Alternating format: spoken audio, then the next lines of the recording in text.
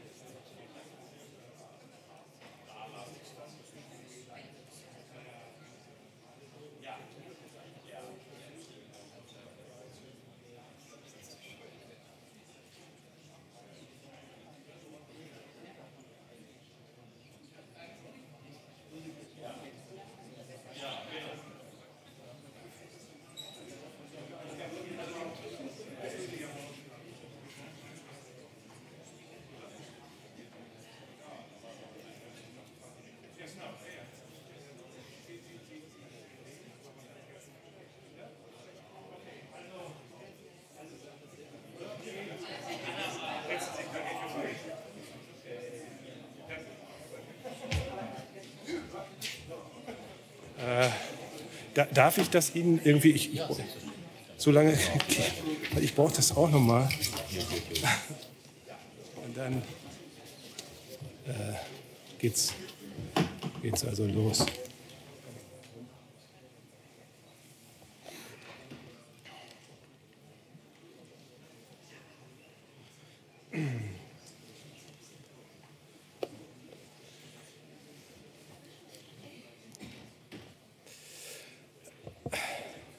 Sehr geehrter Herr Abgeordneter Wadefuhl, sehr geehrter Herr General Schelleis, sehr geehrter Herr Professor Warwick, sehr geehrte Frau Sinjen, meine sehr verehrten äh, Damen und Herren, äh, ich möchte Sie äh, ganz, ganz herzlich heute zu äh, dieser Veranstaltung äh, begrüßen.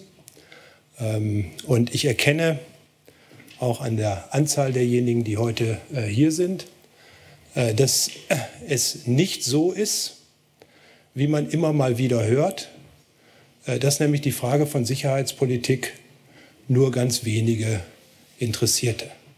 Äh, sondern was ich hier erkenne, ist in der Tat, es gibt ein großes Interesse an dieser, an dieser Fragestellung. Ich freue mich, dass der Herr Abgeordnete Kiesewetter, wo ist er? Ne, auch äh, äh, hier ist, also äh, auch als Zuhörer und Beteiligter. Äh, äh, ich freue mich einfach, dass wir heute Abend diese äh, Veranstaltung hier gemeinsam durchführen können. Und wenn ich es mal aus Sicht der Konrad-Adenauer-Stiftung sagen darf, wir haben uns drei wir nennen das Kernthemen vorgenommen, die wir äh, äh, behandeln äh, wollen, neben anderen, aber worauf wir uns ganz besonders konzentrieren wollen. Das eine Thema hat etwas zu tun mit Innovation und Digitalisierung. Das andere Thema hat etwas zu tun mit der Frage repräsentativer Demokratie. Und das Thema, was wir heute hier diskutieren, gehört auch zu diesen Kernthemen, nämlich es hat etwas zu tun mit der Frage Sicherheit und wir meinen damit auch ganz explizit militärische Sicherheit. Und wenn man sich die Gemengelage, wie das so schön heißt, ein wenig ansieht, wie eigentlich die Lage äh, insgesamt ist, so äh, wird einem äh, ja, äh, wenn man äh, auch nur ein bisschen Zeitung liest, sofort deutlich, dass wir eine relativ volatile Lage im Süden haben. Äh, wir haben die Herausforderungen äh, wenn es um den Osten geht, äh, aber auch, wenn man äh, sich ansieht, was militärisch zurzeit in Asien los ist. Also wir haben doch eine ganze Reihe von Szenarien, die nicht sicher, sondern eher Unsicherheit verbreiten. Und vor diesem Hintergrund glaube ich, dass es richtig und wichtig ist, dass wir uns mit diesen Fragestellungen der äh, Sicherheit auseinandersetzen.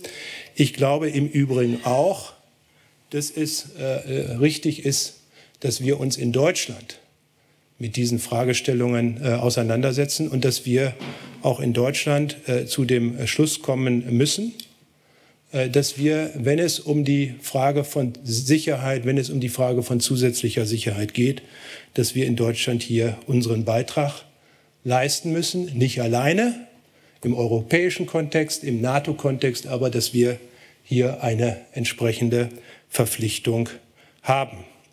Und das bedeutet auf der einen Seite aus meiner Sicht, dass äh, die Bundeswehr einsatzfähig sein muss, bündnisfähig äh, sein muss und dass wir eben auch eine NATO gebrauchen, die im Erstfall geschlossen und effektiv handeln kann. Und darum geht es auch bei dieser großen Übung, äh, die äh, zurzeit läuft, Defender 2020.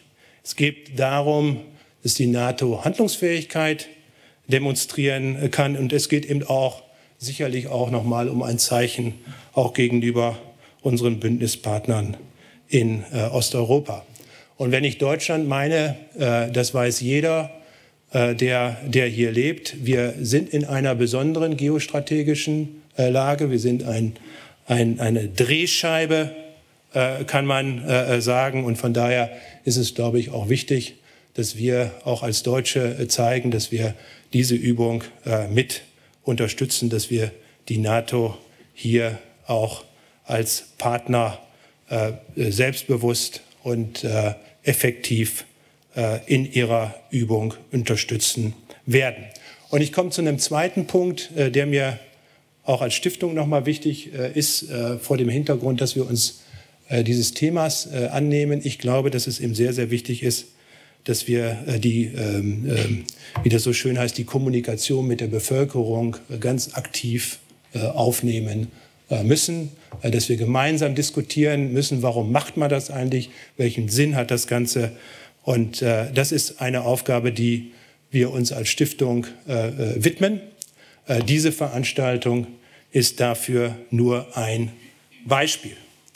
Äh, wir stimmen uns mit dem Verteidigungsministerium äh, natürlich ab und ich muss sagen, ich freue mich sehr, dass wir heute Abend den Inspekteur der Streitkräftebasis, General Schelleis, hier äh, begrüßen äh, dürfen. Äh, ich habe das so verstanden, dass ohne Sie und ohne die Streitkräftebasis diese Übung gar nicht stattfinden kann. Und von daher freuen wir uns, dass also dass sie jetzt läuft und dass Sie trotzdem Zeit finden, mit uns hier in die Diskussion zu gehen und nachher auch die, diese Veranstaltung hier mit einem einführenden ähm, Beitrag eröffnen und den Rahmen äh, einfach setzen werden. Ich freue mich natürlich äh, ganz besonders den stellvertretenden Fraktionsvorsitzenden der CDU-CSU, Dr. Johann Wadefuhl, äh, begrüßen zu dürfen. Wir sind im engen Kontakt, gerade auch wenn es um Sicherheits-, Außen- und sicherheitspolitischen Fragestellungen geht.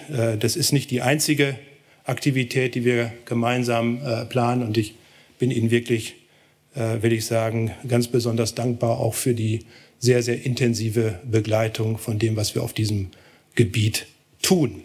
Ich freue mich auch, Herrn Professor Dr. Johannes Warwick begrüßen zu dürfen, Professor für internationale Beziehungen und europäische Politik der Martin-Luther-Universität Halle-Wittenberg und, und das ist äh, in diesem Zusammenhang auch für uns äh, ganz besonders wichtig, er ist auch Präsident der Gesellschaft für Sicherheitspolitik und mit der Berliner Sektion haben wir diese Veranstaltung gemeinsam vorbereiten dürfen. Also für die Kooperation ganz herzlichen Dank und auch dafür, dass Sie äh, nachher hier auf dem Panel zur Diskussion stehen. Und äh, das Ganze wird professionell äh, moderiert werden durch Frau äh, Sinjen, äh, die der Stiftung auch immer mal wieder sehr verbunden äh, ist. Und deswegen freue ich mich und die von der Stiftung Wissenschaft und Demokratie kommt. Also ich muss sagen, ich bin gespannt auf diesen äh, Abend.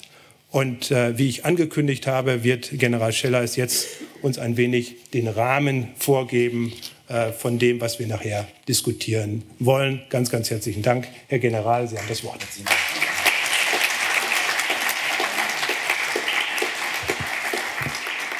Herzlichen Dank, Herr Dr. Wahlers. Äh, ganz äh, Herzlichen Dank auch an Sie, meine Damen und Herren, dass Sie trotz der aktuellen Virusdynamik äh, den Weg hierher gefunden haben. Ich freue mich sehr, das Thema Drehscheibe Deutschland am konkreten Beispiel der Übung Defender Europe 20 äh, mit Ihnen diskutieren zu können. Ähm, viele, äh, Sie haben es angesprochen, glücklicherweise viele sind da und viele sind auch deutlich jünger.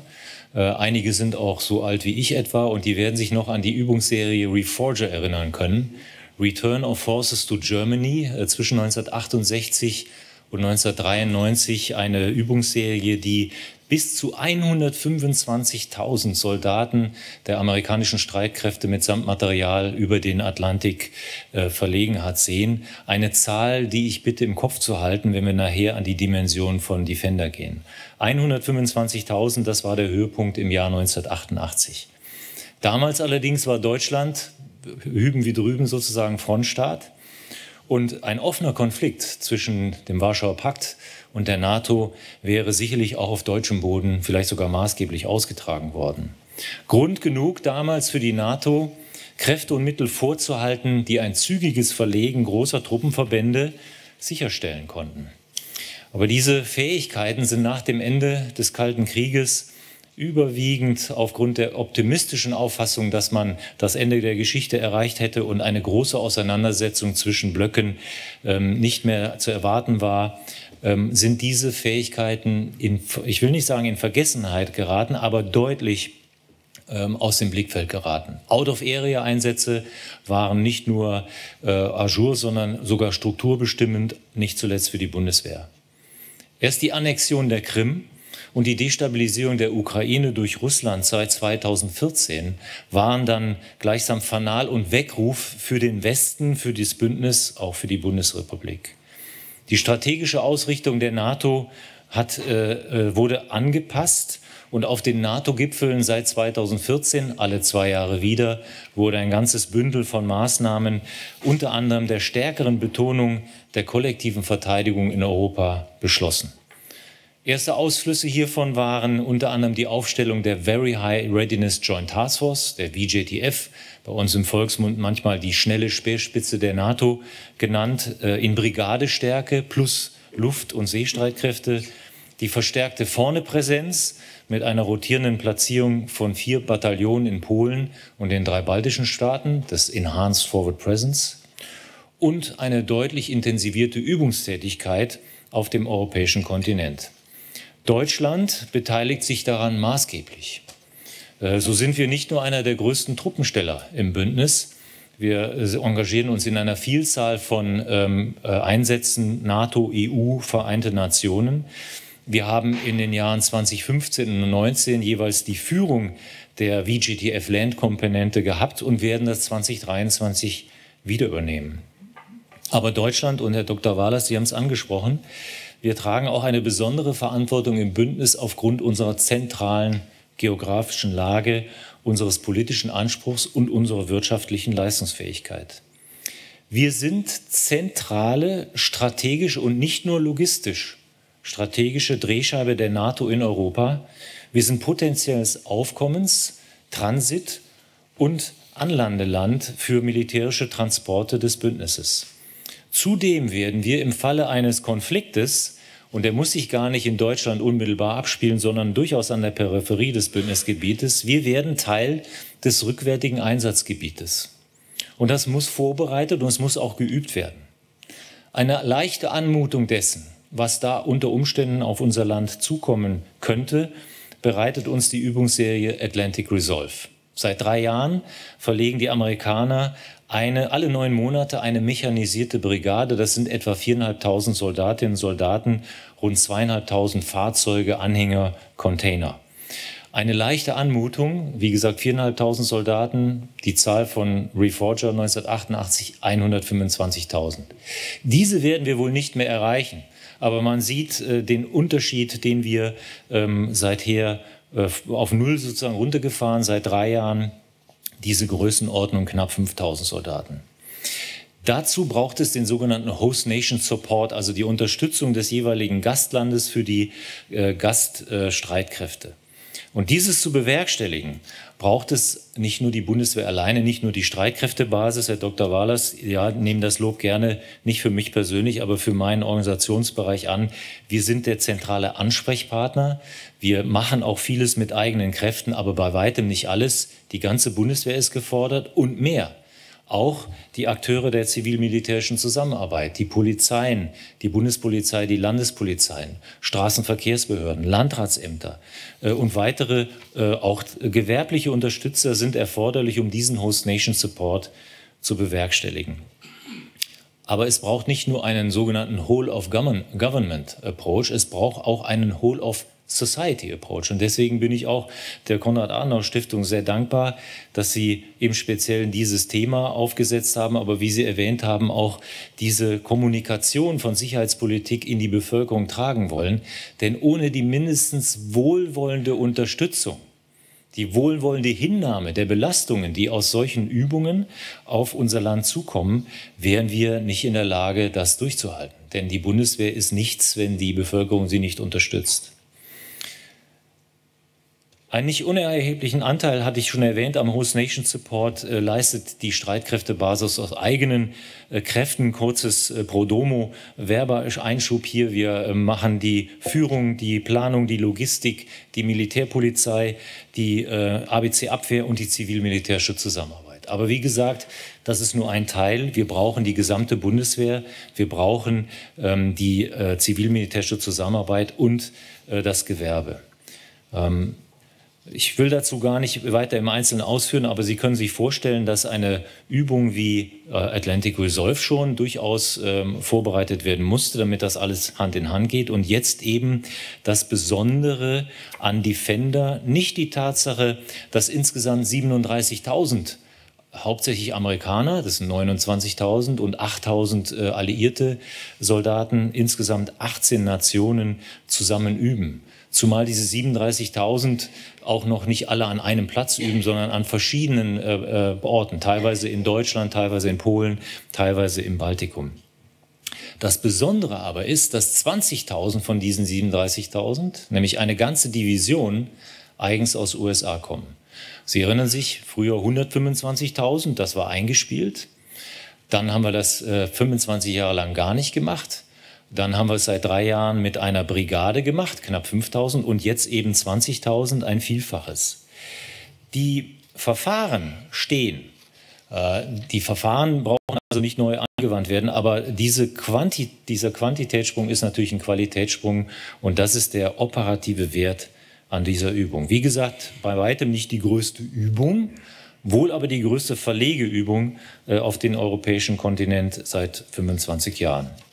Und Sie haben es angesprochen, ähm, die zentrale Lage Deutschlands in Europa wird auch in dieser äh, Übung wieder deutlich. Äh, und durch unser Land fließt ein Großteil der eigens aus äh, USA verlegten Kräfte. Und in unserem Land sind ja auch einige Amerikaner nach wie vor stationiert. Das heißt, wir sind auch Aufmarschgebiet.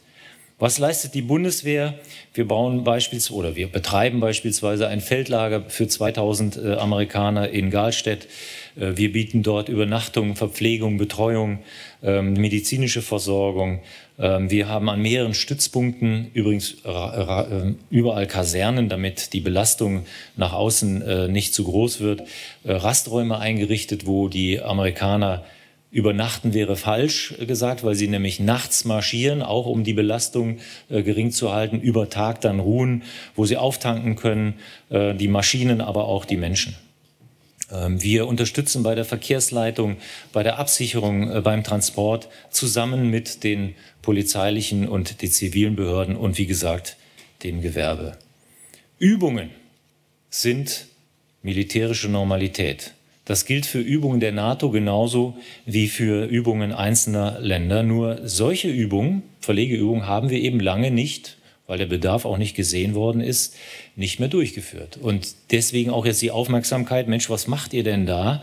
Äh, und deswegen auch die Kritik aus manchen Stellen, ja, das ist doch provokant gegenüber Russland. Nein, es gehört zum ganz normalen militärischen Geschäft dazu. Es gehört zur Aus- Prägung des Auftrags seit 2014, wie gesagt, in der NATO wieder in den, äh, in, in, nicht in den Vordergrund gestellt, aber wieder ins Blickfeld genommen und seit 2016 Weißbuch der Bundesregierung auch wieder strukturbestimmende Aufgabe für die Bundeswehr. Kollektive Verteidigung. Dazu braucht es auch die Verlegung starker amerikanischer Kräfte und das wird jetzt erstmals wieder geübt. Übrigens, das, was jetzt mit Defender geübt wird, kann Russland schon lange. Und Russland übt das auch schon lange. Alle, ja, jedes Jahr wird in einem der vier Militärbezirke eine große, auch strategische Verlegeübung durchgeführt. Die letzte äh, nach Westen äh, ist die Übung Sappat im Jahr 2017.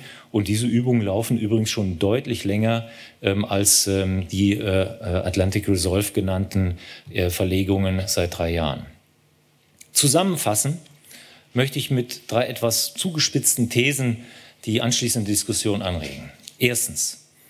Defender Europe 20 ist ein starkes Signal der fortwährenden amerikanischen Bündnissolidarität mit Europa, allen Tweets aus dem Weißen Haus zum Trotz. Leider wird das durch die deutsche Öffentlichkeit, anders als anderswo in Europa, bisher weder ausreichend wahrgenommen noch angemessen gewürdigt. Die mangelnde Anerkennung des amerikanischen Engagements hierzulande könnte zu einer weiteren Eintrübung des transatlantischen Verhältnisses führen. Und das ist dann nicht äh, die Schuld der Amerikaner. Zweitens. Defender Europe 20 erlaubt Deutschland, den eigenen Beitrag zur Bündnisverteidigung in Europa, wie gesagt seit 2016 der strukturbestimmende Auftrag der Bundeswehr, deutlich hervorzuheben. Dieser fußt auf zwei Säulen. Erstens der Teilhabe der Bundeswehr als Träger der Bündnisverteidigung in Zentraleuropa an den Kampfhandlungen, wo immer diese stattfinden mögen. Und zweitens der gesicherten Funktionsfähigkeit der strategischen, nicht allein logistischen Drehscheibe Deutschland in den drei Rollen. Aufmarschland für die Bundeswehr und hier stationierte Amerikaner, Transitland für unsere Alliierten und rückwärtiges Einsatzgebiet. Bundeswehr und die tatsächlich aktuell geforderten Akteure der zivil-militärischen Zusammenarbeit erfahren für ihren Beitrag zu Defender Europe von den Amerikanern höchstes Lob. An der deutschen Bevölkerung aber geht die Übung mehrheitlich vorbei. Zudem sind den allermeisten Deutschen diese drei vorgenannten Rollen der Drehscheibe Deutschland nicht bewusst. Ohne die mindestens wohlwollende Unterstützung der Bevölkerung aber wird diese in einem hybriden Szenar mit Gefährdungen aller Art nicht funktionieren. Deutschland ist für seine Rolle in der Bündnisverteidigung daher noch nicht ausreichend gerüstet. Drittens. Das Parlament als Auftraggeber der Bundeswehr droht wieder einmal eine Gelegenheit zu verpassen, über Defender Europe 20 eine breite sicherheitspolitische Debatte anzustoßen. Bis auf wenige Ausnahmen sind bisher nur kritische Stimmen von Abgeordneten der Linken zu hören. Legitim, aber es sind halt die kritischen Stimmen. Wenn nicht anlässlich einer solchen Großübung, wann will man dann öffentlich über Sicherheitspolitik in Deutschland und wie sich das konkret auswirkt, debattieren? Umso dankbarer, umso dankbarer bin ich der Konrad-Adenauer-Stiftung, dieses Thema des, äh, oder dieses Thema heute zu debattieren. Und ich freue mich auch über die Anwesenheit von zwei, zwei Abgeordneten, äh, Dr. Wadefuhl und äh, äh, Abgeordneter Kiesewetter. Ich freue mich auf die nun folgende Debatte und noch hat die Übung ja gar nicht richtig angefangen. Die Verlegung läuft, die Übung kommt noch. Äh, es gibt also noch Gelegenheit, darüber auch öffentlich zu sprechen. Ähm, und ich freue mich, wie gesagt, jetzt auf die Diskussion. Danke.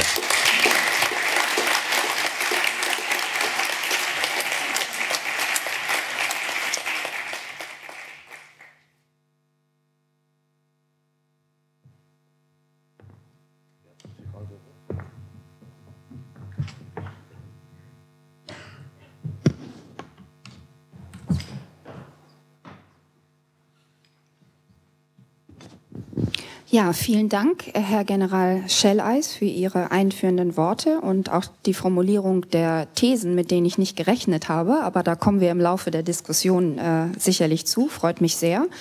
Und auch ein herzlicher Dank an die Konrad-Adenauer-Stiftung und die Berliner Sektion der Gesellschaft für Sicherheitspolitik für die schöne Einladung, mit Ihnen heute Abend äh, zu diskutieren.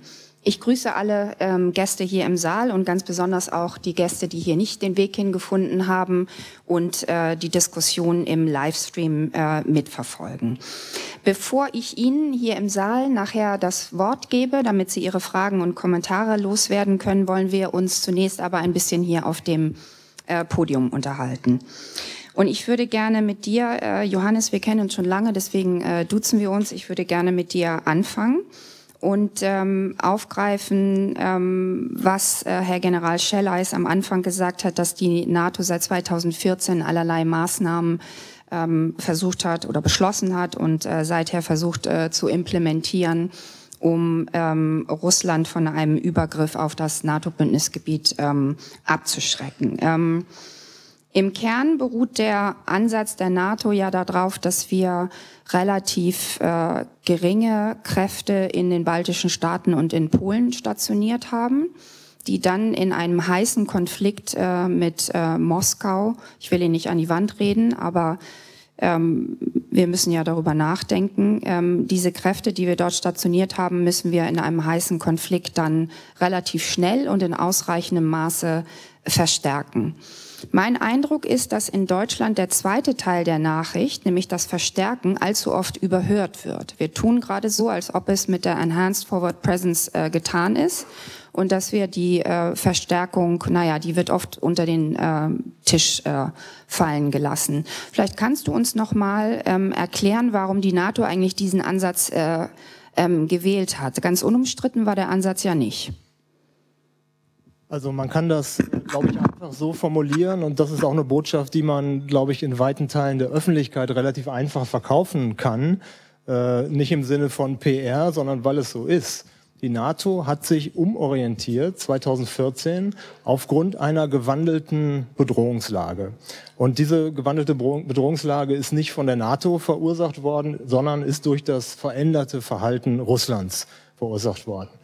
Und das, was jetzt äh, geübt wird, was jetzt praktisch dem nachfolgt, ist gewissermaßen die Umsetzung der Beschlüsse von 2014. Insofern ist das nicht besonders spektakulär, sondern die notwendige Erweiterung in der Praxis gewissermaßen dieser politischen Beschlüsse. Und das Ziel ist klar, aus meiner Sicht jedenfalls, das russische Risikokalkül zu beeinflussen. Abschreckung funktioniert nur dann, wenn man will und wenn man kann.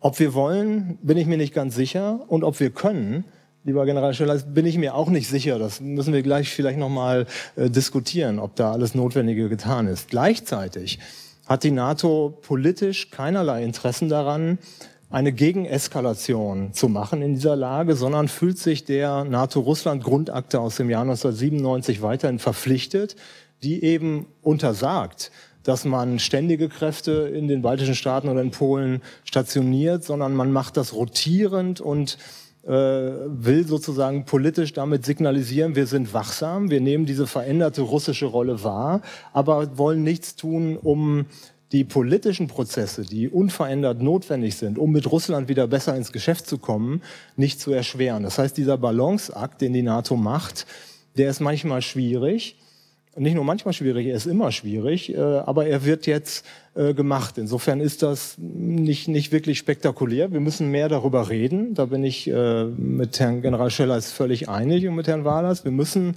diese Strategie öffentlich darstellen und ich glaube, ich kann man, man kann sie äh, auch darstellen. Gleichzeitig, wenn wir schon bei diesem Thema äh, Kalkulation der NATO sind, müssen wir, glaube ich, noch stärker als in der Vergangenheit uns bemühen, um mit Russland wieder tatsächlich ins Geschäft zu kommen. Weil wir sehen ja jetzt, dass wir Ressourcen, Energie, politisches Kapital, militärische Kapazitäten gewissermaßen jetzt in dieser Front wieder brauchen, die wir nicht so stark brauchen würden, wenn wir ein besseres Verhältnis zu Russland hatten, hätten. Und die Frage ist, wie kann man das russische Verhalten äh, beeinflussen. Da bin ich fest davon überzeugt, dass das nur geht durch eigene Stärke und durch eigene Handlungsfähigkeit, aber auch durch einen verstärkten politischen Dialog. Und das ist sozusagen mein Ansatz auf diese Fragen. Das, was wir jetzt militärisch machen, ist richtig und notwendig. Und wahrscheinlich müssen wir es sogar noch besser machen. Und wenn ich mir eine Dinge angucke, kommen wir in der Diskussion hoffentlich noch darauf zu sprechen, wo wir schwach sind. Und das hat General Scheller natürlich nicht so stark dargestellt, weil er sich nicht selber gewissermaßen da kritisieren kann. Aber es gibt, und es ist auch keine Kritik an ihn, sondern an der deutschen, europäischen und NATO-Politik, wo man diese Dinge noch besser machen kann, glaube ich, das ist unbenommen davon. Aber wir müssen also gleichzeitig diese militärischen Fähigkeiten wieder aufbauen, die wir verloren haben. Und auf der anderen Seite diese andere Medaille, die politische Debatte um eine richtige Strategie, um Russland gewissermaßen wieder in unser Camp zu holen. Und ich würde das nicht aufgeben. Und wenn wir ganz groß global strategische Überlegungen anstellen, die, Russe, die chinesische Strategie ist es im Moment, Russland gewissermaßen an seine Seite zu ziehen und da äh, in dem aufziehenden Großmachtkonflikt zwischen den äh, USA und China äh, Punkte zu machen. Und das müssen wir verhindern. Und wir müssen alles dafür tun, dass das verhindert. Das ist der französische Ansatz gewissermaßen, der leider durch die NATO-Obsession im negativen Sinne von Monsieur Macron äh, konterkariert wird. Aber wir müssen diesen französischen Punkt äh, wieder ernster nehmen, dass wir auch wieder einen politischen Ausgleich mit Russland machen und darüber nachdenken, wie es gelingen kann. Das hat aber nichts mit dieser Übung zu tun. Es sind also zwei Seiten. Militärische Stärke und politischer Ausgleich. Und einen Punkt möchte ich zu dieser großen Bestandsaufnahme auch noch mal sagen. Und ich bin General Schellers wirklich sehr dankbar, dass Sie das in dieser These formuliert haben. Wir reden immer über die USA, als ob sie sich aus Europa verabschieden. Und in allen Debatten, sowohl, nicht allen, das ist undifferenziert, in vielen Debatten, sowohl im Bundestag als auch in den Medien, als auch in der deutschen Öffentlichkeit, wird so getan, als ob die USA ein Problem sind für uns. Defender zeigt, dass das glatte Gegenteil der Fall ist. Trotz der Trumpschen Rhetorik in der praktischen Politik sind die Amerikaner verlässliche Verbündete, die sich diese Stabilisierung Europas nach wie vor auch sehr viel Geld kosten lassen und in das sie sozusagen politisches Kapital investieren. Und dieses große Bild sollten wir nicht aus dem Blick nehmen, sondern das fokussieren. Und ich glaube, auch in dieser Hinsicht ist Defender eine gute Gelegenheit, nochmal etwas rationaler über die amerikanischen Interessen an einem stabilen Europa zu reden und darüber zu reden, wie wir im Moment mit den USA in unseren Rhetoriken umgehen. Und ich bin kein Trump-Freund, um das auch nochmal zu sagen. Also das ist nicht die Frage dabei, aber äh, und man kann das kritisieren an anderen Fragen. Aber in dieser Frage, das Commitment der USA für europäische Sicherheit, da sehe ich kein Wackeln und das müssen wir auch stärker wieder herausstellen. Wir kommen nachher sicherlich noch zu äh, der Erwartungshaltung der Amerikaner an uns und äh, unsere Erwartungshaltung äh, an die Amerikaner. Mir war hier bei, bei meiner Frage auch nochmal wichtig, vielleicht kann ich das nochmal äh, kurz sagen, dass ähm, wir, glaube ich, einen relativ äh, moderaten Ansatz äh, gewählt haben. Im Bündnis waren die baltischen Staaten beispielsweise und die Polen äh, waren anderer Auffassung zu Beginn der Diskussion. Sie hätten gerne ähm, stärkere Kräfte ähm, äh, an der Ostflanke der NATO gehabt und auch auf Betreiben der Deutschen hin ist es dann äh, zu diesem Kompromiss gekommen. Ich will damit sagen, dass ich glaube, es ist nochmal wichtig hier zu sagen, dass der Ansatz und jetzt auch mit Blick auf die Übung, was wir jetzt üben, äh, kein, äh, kein übertrieben provozierender Ansatz gewesen ist. Das war eigentlich mein Punkt. Würdest du dem zustimmen?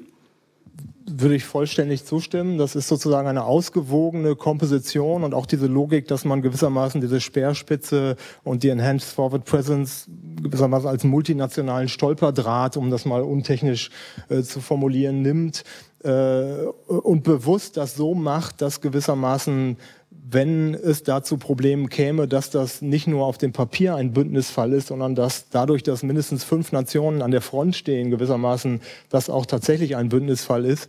Da war die Logik, dass das gewissermaßen größere Kräfte ersetzt. Und ich glaube, das ist auch vernünftig. Äh, wir hätten nichts damit gewonnen, wenn wir die NATO-Russland-Akte eingerissen hätten und äh, Divisionen äh, in, in, im Baltikum stationiert hätten. Ich glaube, der militärische Nutzen, der natürlich damit da gewesen wäre, hätte die politischen oder die politischen Folgekosten hätten das äh, negativ konterkariert. Insofern war es klug, das so zu tun. Und es gab da diese berühmte RAND-Studie in den USA, die gesagt hat, wir brauchen dies und das und das und so weiter. Das sind dann Extrempositionen, die in der Debatte natürlich immer eine Rolle spielen. Aber ich glaube, wir sind gut beraten, besonnen, aber doch mit Stärke und mit Entschlossenheit und mit Handlungsfähigkeit zu reagieren. Äh, und how much is enough sozusagen, das ist immer die Frage, äh, die Militärs auch vermutlich anders beantworten als politische Beobachter. Man braucht eine ausgewogene Strategie, die nicht eskaliert, sondern auf der Basis von eigener Stärke das russische Risikokalkül beeinflusst. Und ich glaube, das ist mit den Schritten, die in Wales beschlossen worden sind, die jetzt geübt werden, äh, durchaus machbar. Insofern glaube ich nicht, dass wir da sehr viel, äh, sehr viel mehr Stärke brauchen, sondern wir sind durchaus stark und handlungsfähig mit den Kritikpunkten, zu denen ich gleich äh, gerne noch komme. Vielen Dank, Herr Dr. Wadefuhl. Ähm, ein, ein heißer Konflikt mit äh, Russland hätte sicherlich äh, viele Dimensionen, nicht nur eine militärische, davon gehe ich mal ganz stark aus, aber eben auch eine militärische Dimension. Und Sie gehören zu denen, die immer bereit sind, sich hier auch hinzusetzen und diese militärische Dimension auch äh, zu diskutieren. Aber insgesamt wird sie, glaube ich, in, in Deutschland immer noch viel zu wenig diskutiert und sie wird auch nicht so gerne insgesamt öffentlich äh, durchdacht. Und da können wir jetzt vielleicht mal eine der Thesen von äh, General Schelleis ähm, einbauen. Ich würde mal behaupten, dass äh, die deutsche Gesellschaft insgesamt und auch die Bundeswehr im Moment nicht darauf vorbereitet ist, in einen militärischen Konflikt mit Russland zu gehen, äh, wenn wir denn müssten.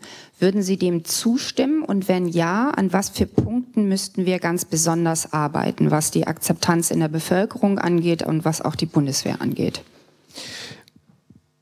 Also erstmal vielen herzlichen Dank für die Initiative dieser Veranstaltung. Vielen Dank auch Herr Schelleis für die, für die sehr profunde Einführung in die Thematik. Und ich würde nur in einem ganz kurzen, aber wirklich unterstrichen, mehrfach unterstrichenen Satz Herr Warwick, das auch nochmal sagen wollen, was Sie als letzten Punkt gemacht haben und was wir wirklich äh, ganz dringend in Deutschland in Zukunft mehr beachten müssen, die Bereitschaft, die tatkräftige Bereitschaft der Vereinigten Staaten von Amerika zur Verteidigung äh, Europas jeden Tag beizutragen. Also das wird durch diese Übung mehr als unterstrichen. Sie wird ja durch die Amerikaner geführt, bedauerlicherweise nicht durch die NATO.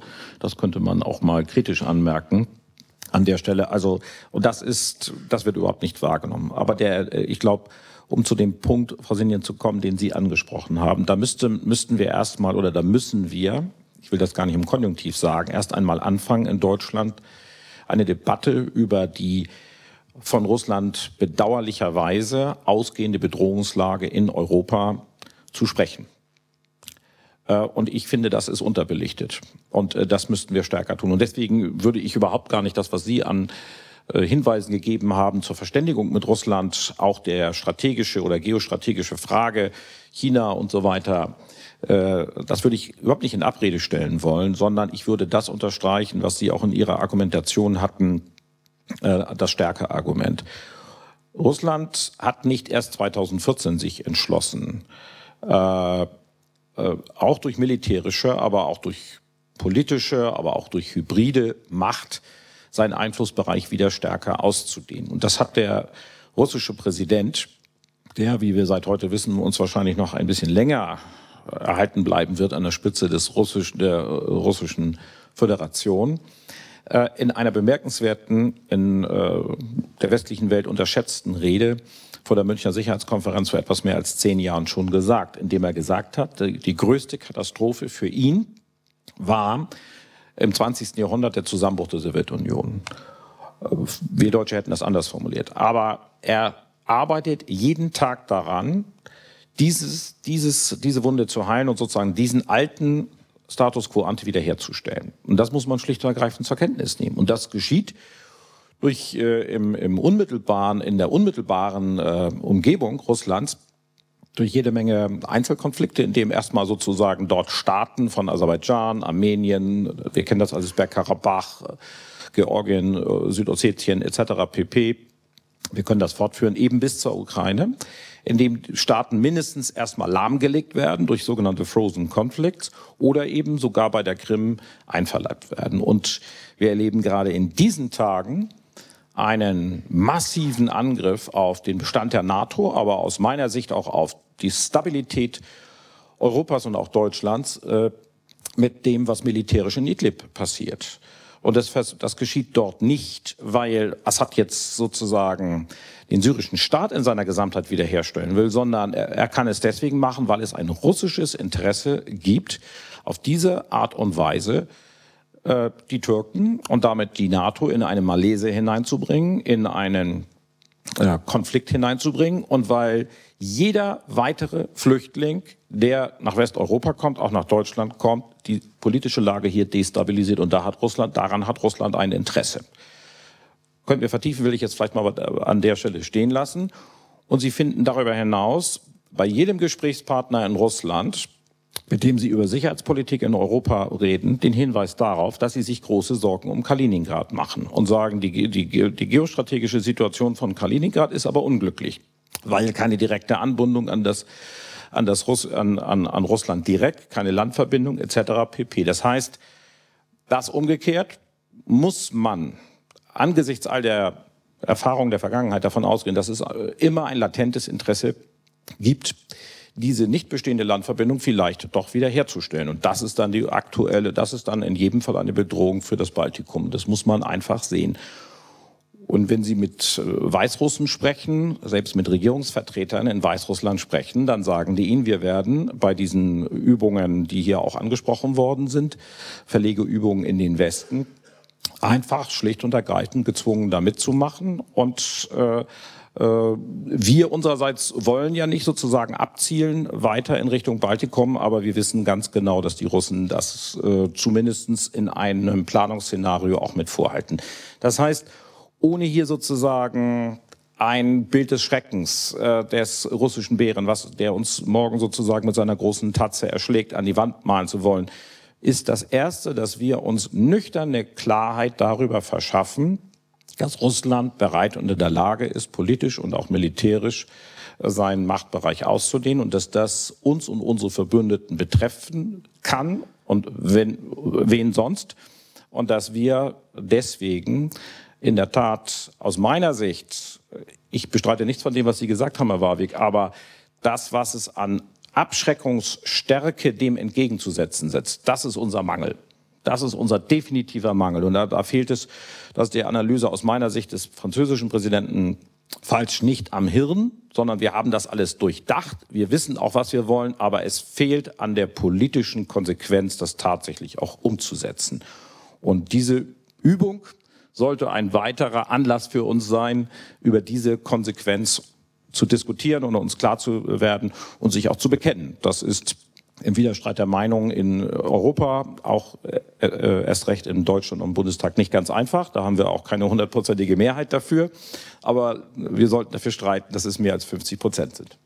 Und aus dieser mangelnden Abschreckungsstärke resultiert dann eine Gesellschaft, die damit nicht umgehen kann? Oder wie ist Ihre Bewertung ja, des glaube, Zustands der Ja, in der, der Tat. Ich glaube, dass die Gesellschaft das darauf einfach nicht eingestellt. Ich glaube, unsere Gesellschaft äh, ehrlich gesagt haben wir ja schon zu Zeiten der Teilung des sogenannten Eisernen Vorhangs bei der NATO-Nachrüstung eine Diskussion gehabt, die an der Kante war. Die Älteren unter uns werden sich erinnern, ich gehöre zu der Altersgruppe, die, die damals Abitur gemacht hat und dann ganz bewusst zur Bundeswehr gegangen ist, als wir diese Debatten hier geführt haben. Und jetzt ist es einfach so, dass alle denken, wir sind von Freunden umzingelt. Äh, und äh, es gibt gar keine Abschreckungsnotwendigkeit mehr. Das ist nicht mehr so vorhanden. Aber ich muss auch dazu sagen, selbstkritisch, mich, meine Partei, auch äh, meine Fraktion, wahrscheinlich auch meine Regierungsmitglieder einbeziehend. Wir müssen einfach das auch vermitteln. Das ist auch eine politische Führungsaufgabe. Dazu muss man sich bekennen. Und wenn hier dann vorhin gesagt worden ist, äh, wie Sie netterweise gesagt haben, mit Wales haben wir die notwendigen Maßnahmen einbegriffen, dann muss man auch Wales durchführen. Nur leider gibt es keine einzige Finanzplanung, in der Bundesregierung und im deutschen Parlament, welche darauf abzielt, dass wir die zwei Prozent bis 24 hinbekommen. Und wir sind derzeit in einem, einem Kampf, dass wir gerade mal vielleicht die 1,5 Prozent im deutschen äh, sozusagen Verteidigungsausgaben NATO-relevante, dass wir die vielleicht mal hinbekommen. Äh, und selbst das ist eine schwierige Auseinandersetzung und derzeit gehen die Planungen nicht in die Richtung, das zu machen. Das heißt, es wird auch die politische Führung aus meiner Sicht zu wenig wahrgenommen. Und wenn das nicht irgendjemand in die Hand nimmt, Dazu braucht man dann am Ende, das sage ich auch mal als CDU-Politiker, einen Helmut Schmidt, der dann einfach mal sagt, sozusagen politisch, lutherisch, hier stehe ich, ich kann nicht anders, wir müssen das jetzt tun, liebe Leute. So, und das ist jetzt wieder so eine Stunde, äh, wo wir das allerspätestens machen müssen. Ansonsten äh, sind wir oder sind wir in der starken Gefahr der Spiel Ball äh, äh, einer, einer, einer weiteren Entwicklung zu werden, die wir nicht mehr im Griff haben. Letzter Satz dazu. Wir haben jetzt mit dem Koalitionsausschuss am Wochenende, ist ganz hochaktuell, tausend Kinder aufgenommen oder wollen ein Bekenntnis im europäischen Rahmen mit anderen tausend Kinder aufzunehmen aus Krieg führt uns schon an die Grenze der Handlungsfähigkeit, sage ich mal. Jetzt stellen Sie sich mal vor, wie viele dreieinhalb Millionen Syrer und, äh, sind allein jetzt in der Türkei und äh, eine weitere Million ist in Idlib. Jetzt stellen Sie sich nur mal vor, da kommen jetzt statt 1000 10.000 Flüchtlinge nach Deutschland. Halten wir das hier noch durch? Bleibt das Land noch stabil? Wir können ja mal eine Abstimmung machen, wer meint, dass das so ist. Und 10.000 wäre ja noch ein geringer Anteil von dem, was da kommt. Das heißt, äh, bei all den Sachen, über die wir jetzt sicherheitspolitisch reden, geht es recht schnell schon auch wirklich um die wirkliche Stabilität Deutschlands und Europas. Und sich dafür einzusetzen, ist doch aller Ehren wert, finde ich. Dankeschön. Herr General, wo hapert es denn aus Ihrer Sicht äh, ganz konkret, wenn Sie an die äh, Unvorbereitetheit der äh, Bevölkerung denken oder an die, die mangelnde Abschreckungsstärke, die Herr Dr. Wadefuhl äh, gerade erwähnt hat. Sie, Sie bereiten jetzt seit Wochen und Monaten die Übung mit vor. Und Sie müssen sie auch mit äh, durchführen. Und auch in einem Ernstfall hätten Sie eine wirklich äh, wichtige Aufgabe. Ich finde ein ganz toller Job. Also auch wenn ich den Ernstfall, wie gesagt, nicht äh, herbeirufen möchte, aber doch eine sehr spannende und verantwortungsvolle volle Aufgabe. Erzählen Sie uns doch mal ein bisschen, woran es jetzt äh, konkret äh, hapert bei der Übung und äh, vielleicht auch in einem Ernstfall. Es müssen ja ziemlich viele Stellen mitziehen, äh, damit Sie Ihre Aufgaben erfüllen können.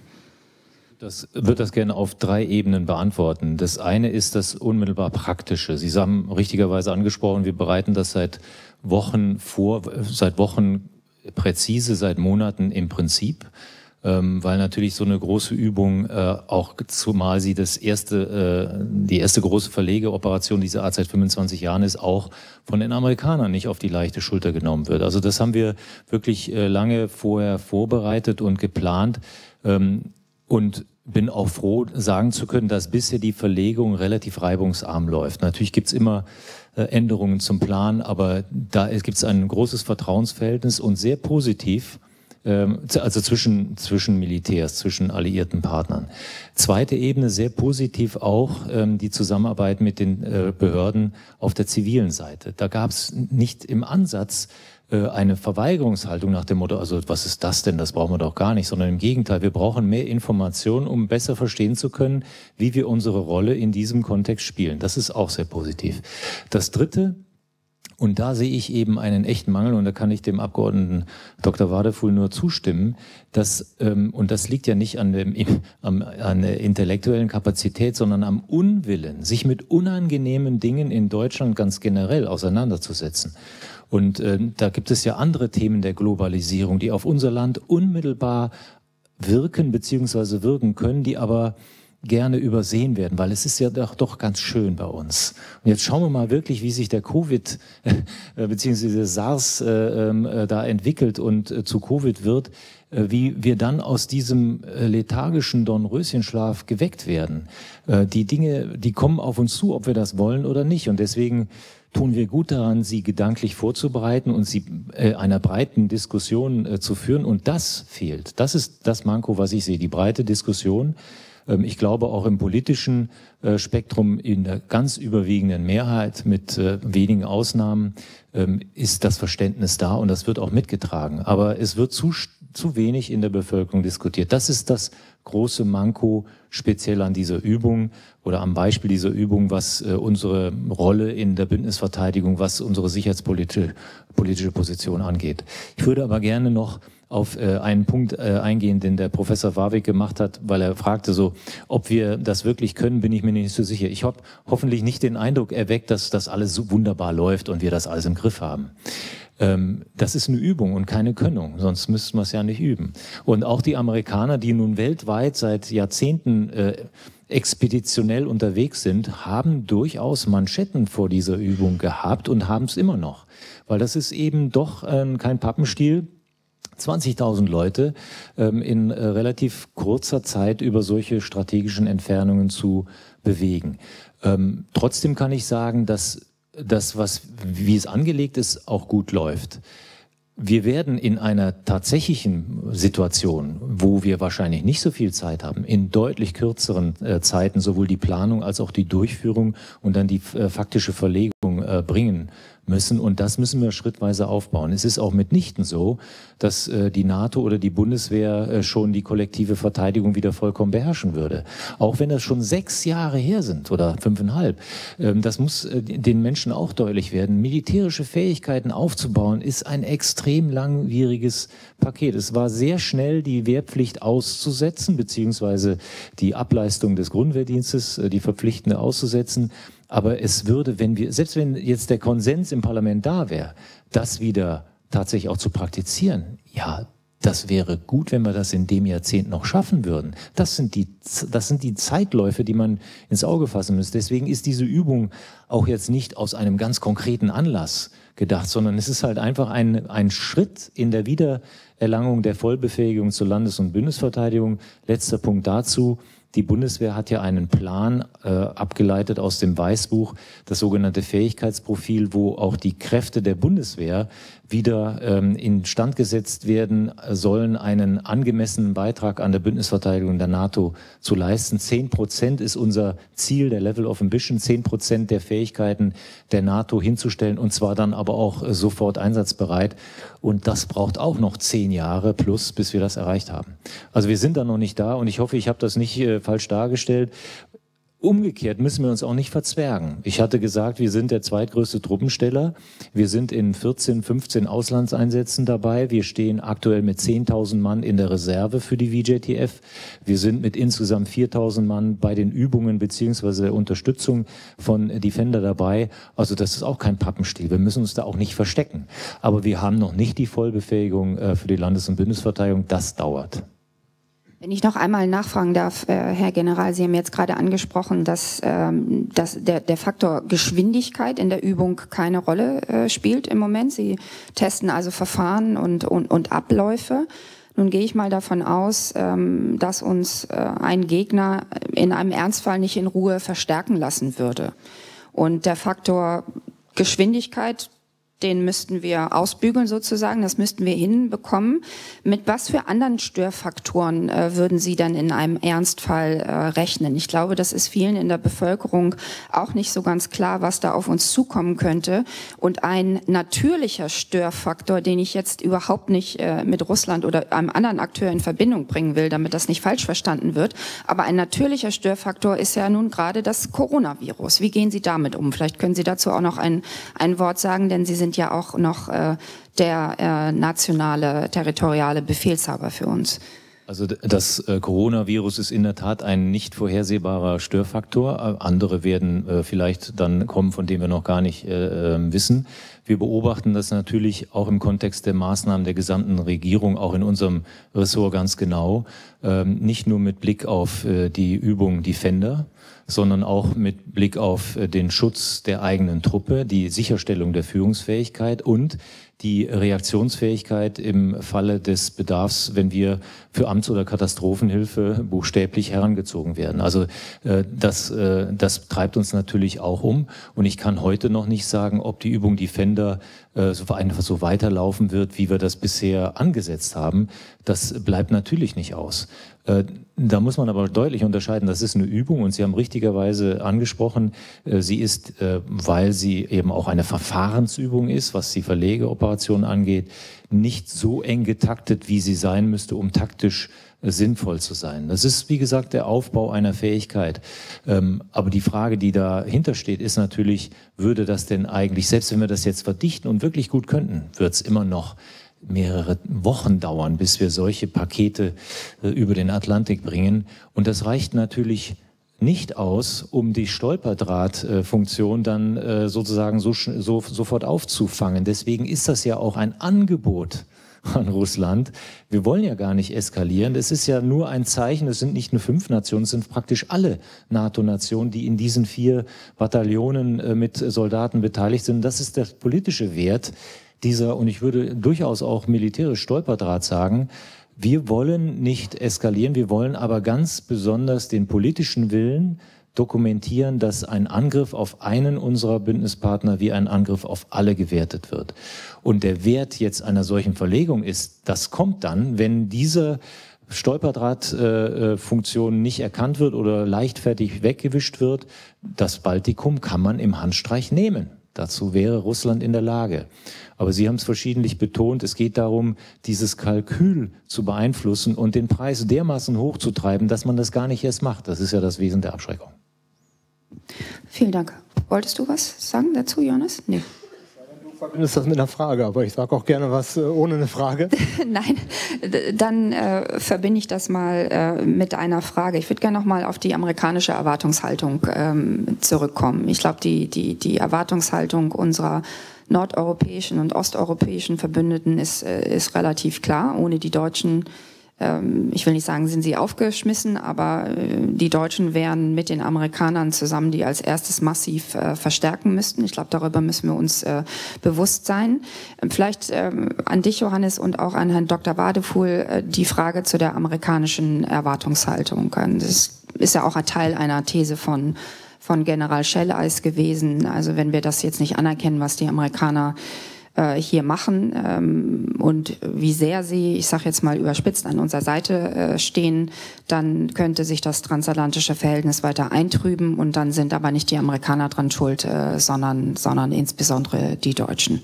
Vielleicht einfach ein Kommentar von, von dir und von Ihnen, Herr Dr. Wadefuhl.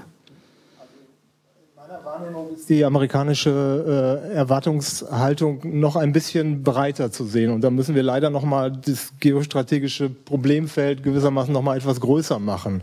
Die jetzige Übung Defender ist aus meiner Sicht gewissermaßen eine Erprobung, äh, größere Kräfte wieder über längere Wege äh, zu transportieren und zu gucken, ob das im europäischen Fall äh, funktioniert. Und ich hätte mir im Übrigen auch gewünscht, Herr Dr. Wadefuhl, dass das eine NATO Operation gewesen wäre. Ich kann jetzt zu wenig beurteilen, warum es keine ist, aber es ist jedenfalls keine. Das hat sicherlich auch was damit zu tun, dass dieses NATO-Logistik-Hauptquartier in Ulm erst 2021 weiß ich nicht, Sie wissen es besser, okay, dann ist es wahrscheinlich eine politische Frage. Jedenfalls, ich hätte mir gewünscht, dass das eine NATO-Operation ist und keine bilaterale amerikanische Sache. Aber jedenfalls ganz gewiss ist die amerikanische Vorstellung, und damit müssen wir uns auseinandersetzen, dass das jetzt im europäischen Fall so geübt wird, dass aber in den nächsten Jahren das auch in anderen Regionen passiert, im, in Asien, Pazifik und dass wir uns dann auch zu diesen Fragen irgendwie verhalten müssen und nicht nur sagen können, sozusagen, ja, das ist jetzt eine Sache, die nur Europa betrifft, sondern die Amerikaner haben einen anderen, einen breiteren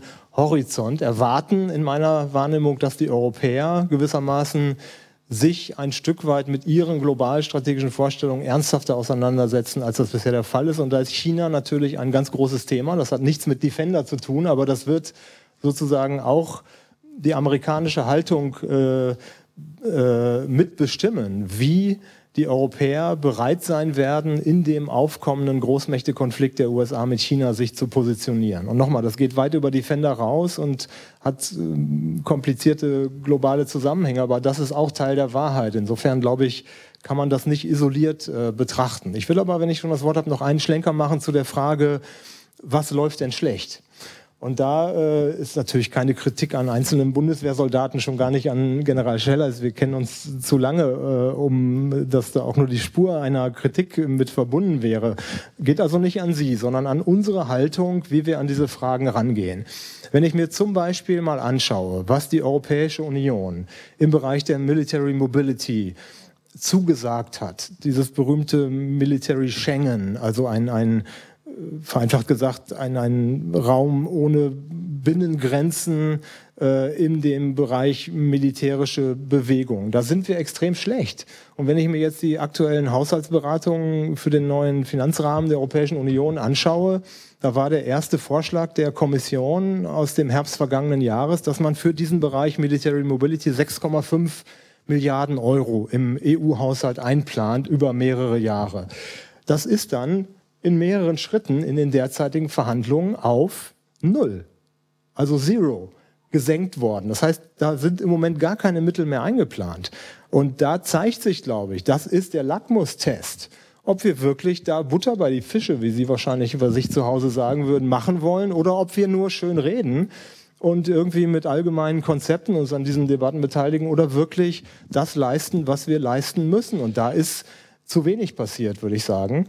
Und das hat natürlich Gründe, die darin liegen, dass wir keinen Whole of Society, Society ähm, Approach, wie Sie sagen, haben, weil die Politik meint, dass das der Bevölkerung nicht zu verkaufen ist, dass man jetzt in diesen Zeiten, wo Mittel wieder knapper werden, für diesen Bereich militärische Mobilität im EU-Haushalt 6,5 Milliarden einplanen. Und das können Sie durchdeklinieren für andere Fragen der Beschaffung der Bundeswehr, der Bereitschaft, äh, Finanzmittel, die man zugesagt hat, zur Verfügung zu stellen und so weiter und so weiter. Das heißt, das sind dann die konkreten Schwächen, die wir angehen müssen. Und äh, auch das, glaube ich, muss man wenn ich äh, Verantwortung hätte, ich habe sie nicht als Wissenschaftler, ich kann das schön entspannt ähm, beurteilen, aber wenn ich Verantwortung hätte, würde ich den Finger in die Wunde legen, um zu demonstrieren, wo wir schwach sind und nicht damit die Sorge haben, dass wir jetzt Nestbeschmutzung machen, sondern in einer politischen Diskussion offen zu sagen, wo auch unsere Schwächen sind und dann die Hoffnung natürlich haben, dass man Mehrheiten dafür gewinnt, in der Gesellschaft und in der Politik diese Schwächen auch abzuarbeiten. Und da schließen wir wieder den Bogen zum, man muss es wollen und man muss es können. Und da habe ich leider im Moment meine Zweifel, dass wir es ausreichend können und auch, dass wir es ausreichend wollen. Und an beiden Dingen muss man, glaube ich, arbeiten. Und um den Kreis zu schließen, das gelingt nur, wenn die politischen Konzepte vernünftig sind. Von Volker Rühr habe ich gelernt, dass man mit jeder guten Idee in der Öffentlichkeit bestehen kann. Und wenn man nicht besteht, dann ist die Idee vielleicht nicht gut. Man muss vielleicht ein bisschen an, der, an dem Wording arbeiten oder an der Idee. Das heißt, wenn wir eine ausgewogene, vernünftige Sicherheitspolitik mit einer klaren Linie haben, dann bin ich als Demokrat überzeugt, dass wir am Ende dafür auch in der Gesellschaft eine Mehrheit finden. Sonst würde ich an der Demokratie verzweifeln. Und wir müssen jetzt daran arbeiten, dass wir diese Dinge in der Gesellschaft eben mehrheitsfähig machen mit vernünftigen politischen Konzepten, aber auch mit sozusagen der notwendigen Kritik an Detailentwicklungen, die nicht so laufen, wie sie laufen sollen. Herr Dr. Wadepool, vielleicht können Sie es mal ein bisschen äh, konkreter machen. Sie sind auch oft im Austausch mit, äh, mit amerikanischen äh, Kollegen ähm, zu der Frage der amerikanischen Erwartungshaltung. Was hören Sie sich an oder was müssen Sie sich anhören und was müssen Sie sich vielleicht auch zu Recht anhören? Ja, ich glaube, Amerikaner ticken erstmal so, dass jeder erstmal sein Schicksal selber in die Hand nehmen muss und das Beste dafür tun sollte mit jeder Anstrengung, dass sein Schicksal besser wird. Das gilt für Individuen wie für Staaten. Und die Amerikaner stellen unabhängig von der Prozentsahldiskussion, zu der ich gleich noch mal ganz kurz komme, einfach fest, dass Deutschland einfach nicht entschlossen genug ist, auch Europa insgesamt, ähm, sein Schicksal selbst in die Hand zu nehmen und alles dafür zu tun, dass wir uns selber verteidigen können. Und diese, das Interesse jetzt so einer Verlegeübung das ist ja im ureigensten europäischen Interesse, dass das wunderbar funktioniert. Je besser das funktioniert, desto geringer ist die Gefahr, die ja nun wirklich für uns lebensbedrohlich im, äh, im, im fundamentalsten Sinne ist, dass Atomwaffen zum Einsatz kommen.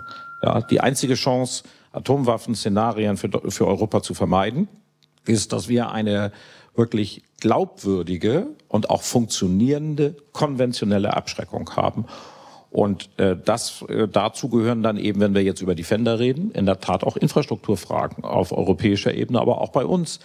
Äh, ich meine, wir Älteren wissen das wie Brücken für Sprengungen vorbereitet sind äh, im Kalten Krieg, wie jede Brücke danach bemessen wurde, äh, was für Panzer darüber fahren können oder nicht. Da, stand, da, da steht die Belastbarkeit stand daneben und so weiter und so fort, wo, wie bestimmte Straßen nur gebaut wurden, um sie auch für entsprechend Kettenfahrzeuge und äh, andere äh, Gefährte nutzen zu können. So müssen wir auch Hafenanlagen, auch Flugplätze in Zukunft wieder mehr planen. Und das muss Berücksichtigung finden. Und da muss man einfach äh, ganz praktisch etwas tun. Das Zweite ist in der Tat, dass Amerikaner von uns schlicht und ergreifend wirklich verlangen, da sind die, gerade Trump ist da einfach sehr zahlen, zahlenorientiert, dass die einfach erwarten, dass die entsprechenden Verteidigungsausgaben in Europa insgesamt äh, anwachsen und die, diese Prozentzahlen, die ich jetzt nicht nochmal alle wiederholen will, aber einfach auch den absoluten Zuwachs, den wollen die sehen und das darauf äh, aufbauend dann unsere Streitkräfte auch wieder wachsen. Und das ist ja ehrlich gesagt schon wieder alles in Gefahr, dass wir eine voll ausgestattete Brigade bis 2023 haben.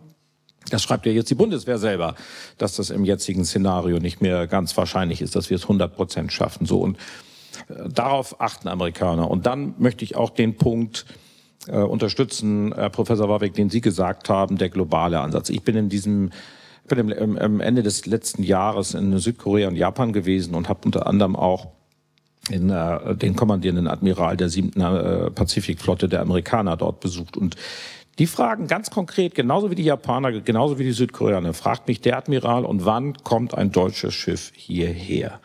Weil die Freiheit der Navigation ist nicht nur eine Frage, die sich für uns stellt im Schwarzen Meer, an der Straße von Kertsch oder, oder in der Straße von Hormuz, sondern die stellt sich im ost- und südchinesischen Meer. Und da erwarten die Amerikaner auch, dass wir da sind. Natürlich bringen wir da nicht die sozusagen marine Qualität, die sozusagen das Kräftegleichgewicht gegenüber den Chinesen zum Kippen bringt. Natürlich nicht, aber einfach da sein, Commitment, äh, die Flagge zeigen und an der Seite Schulter an Schulter da sein. Das erwarten Amerikaner von uns und das sind eigentlich alles erfüllbare Erwartungen. Dank. Noch eine, eine letzte Nachfrage an, an an Sie, Herr General äh, Schelleis, zur, zur Frage der amerikanischen Erwartungshaltung und was das konkret für Ihren äh, Bereich bedeutet. Wir müssen ja nicht nur jetzt bei der Übung, sondern auch im Ernstfall die amerikanischen äh, Truppen und das Material ähm, aufnehmen, in den Seehäfen zum Beispiel. Die sind hoch verwundbar oder können hoch verwundbar sein. Dann müssen sie es durch unser Land äh, bringen, quer durch äh, Europa. Ähm, gibt es da eigentlich eine, und wir müssen auch noch schützen, äh, gibt es da eigentlich eine konkrete Arbeitsteilung zwischen Amerikanern und Deutschen beispielsweise? Also erwarten die Amerikaner von uns, äh, dass wir für die Sicherheit der Seehäfen, Cybersicherheit etc. zuständig sind? Oder machen das die Amerikaner, wenn sie es einmal so vom, vom Hafen quasi bis zum Zielort äh, durchdenken? Wie, wie, ist, wie funktioniert die Arbeitsteilung da, wenn es eine gibt? Also es gibt keine festgelegte, weil ähm, das ja je nach Szenario auch anders zu bewerten ist. Die Amerikaner sind grundsätzlich in der Lage, ja auch in ein äh, Gebiet zu verlegen, wo überhaupt keine Unterstützung da ist, wo sie sozusagen alles selber machen müssen. Aber umso dankbarer sind sie natürlich, wenn äh, Dinge, die wir auch leisten können, von uns gemacht werden. Und das muss bei weitem nicht immer mit militärischen Kräften sein. Wir haben jetzt ganz bewusst auch Flagge zeigen, äh, auch sehr viele militärische Unterstützungsleistungen, zum Beispiel für den Transport von Containern vom äh, Eisenbahnbrückenkopf zum, zum Übungsgebiet mit mit militärischen äh, Kräften gemacht. Das werden wir unter Umständen, je nachdem, äh, von welchem Szenario wir ausgehen, gar nicht leisten können, weil wir die spärlichen, ich sage es jetzt mal überspitzt, Kräfte der Bundeswehr vorne brauchen. Und im relativ geschützten Hinterland, abhängig von der Bedrohungslage, das durchaus auch mit zivilen Speditionen machen. Und das ist momentan die Überlegung und nicht nur die Überlegung, sondern die konkrete Absicht, ähm, dort Vorhalteverträge auch mit zivilen äh, Gewerbetreibenden zu, äh, zu treffen, um Dinge, die nicht militärische Kernaufgabe sind, die also auch durch Nicht-Militär wahrgenommen werden können, aber sichergestellt werden müssen, äh, dass wir das für Deutschland regeln. Dass wir diese äh, Unterstützungsleistungen, Sie haben es angesprochen, Hafenumschlag, das äh, haben diesmal die Amerikaner mit eigenen Kräften gemacht. Wir haben selber Bundeswehr Hafenumschlagkräfte, die das auch machen könnten. Ähm, aber es gibt auch zivile Firmen, die das machen. Und da müssen wir hin, dass wir sehen, dass die, das Militär wirklich dort eingesetzt wird, wo es gar keine Alternative gibt, weil die Gefährdungslage so groß ist oder weil die Reaktionsfähigkeit so groß ist, während was planbar ist, was im relativ geschützten Raum passiert, dann durchaus auch durch zuverlässige Gewerbetreibende machen lassen. Also das ist die grundsätzliche Überlegung. Konkret zu Ihrer Frage. Ähm, es gibt keine festgelegten, du machst das und du machst das Pläne, sondern das muss jeweils im Einzelnen abgesprochen werden. Vielen Dank. Ja, ähm, liebe Gäste, jetzt haben Sie die Gelegenheit, wenn Sie möchten, ein paar Fragen zu stellen und äh, Kommentare äh, zu sprechen. Ähm, ich würde Sie bitten, dass Sie sich äh, kurz vorstellen und, wenn es geht, äh, kurz und knapp halten.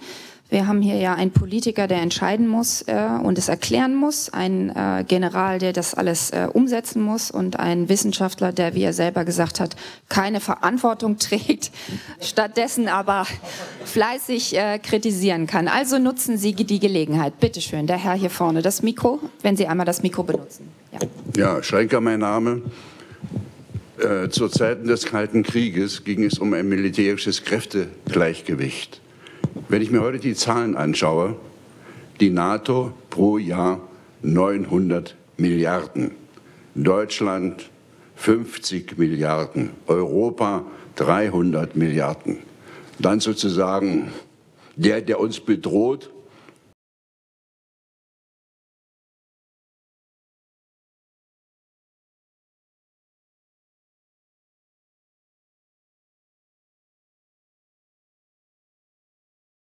60 Milliarden. China und bei nicht wen. Wir nehmen gleich noch eine zweite Frage dazu. Bitte sehr. Mit Mikro bitte. Ja, vielen Dank. Rainer Mayer zum Felde, General AD, äh, Stiftung Wissenschaft und, Polit äh, Stiftung Wissenschaft und, äh, und Politik beziehungsweise Institut für Sicherheitspolitik Kiel, Berlin Office. Ähm, äh, äh, Dr. Wadefuhl, ich muss leider schweren Herzens sagen, dass Sie mit jedem Ihrer sehr selbstkritischen Sätze in vollem Umfang recht haben. Ähm, und wenn ich Amerikaner wäre oder Pole oder einer von den Balten, dann würde ich diese jetzt laufende Übung zum Anlass nehmen, den Deutschen sehr kritische drei Fragen zu stellen. Nämlich erstens, ob wir uns der Tatsache bewusst sind, dass dieses Konzept, was die NATO jetzt implementiert, mit Hilfe ihrer Mitgliedstaaten, der Allianz von den Deutschen und vor allen Dingen von den Deutschen aufs Auge gedrückt worden ist. Denn wir waren es, die den Herzenswunsch sämtlicher exponierten Osteuropäer nicht erfüllt haben, nämlich dass sie ähnlich wie Deutschland im Kalten Krieg an der innerdeutschen Grenze permanent einsatzbereite, kampfkräftige Großverbände stationiert bekommen.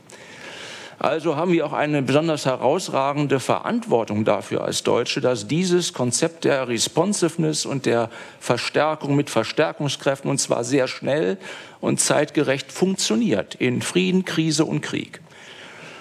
Und wenn ich dann als Amerikaner hier eine ganze Division mit 20.000 Mann durch Deutschland bewege, dann wäre meine erste Frage an die deutsche Bundeswehr, was kann ich denn in zwei Jahren eigentlich erwarten, was an deutschen Divisionen oder zumindest Brigaden Schulter an Schulter mit uns Amerikanern beim nächsten Mal durch Deutschland rollt?